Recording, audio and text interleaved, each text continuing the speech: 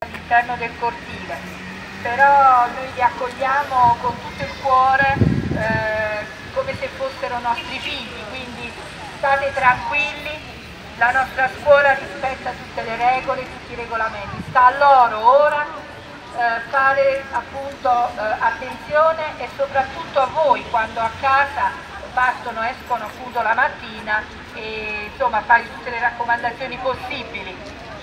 Eh, noi abbiamo questo nemico invisibile ma lo dobbiamo combattere insomma a tutti i costi. Dovevamo ricominciare e l'abbiamo fatto oggi.